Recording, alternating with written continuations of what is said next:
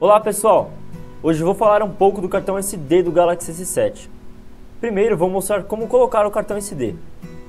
Pegue a chave que vem junto com a caixa do S7 e use-a para retirar o compartimento do SD. É muito simples e prático, porém deve ser feito com cuidado para não ocorrer riscos. Agora pegue o cartão.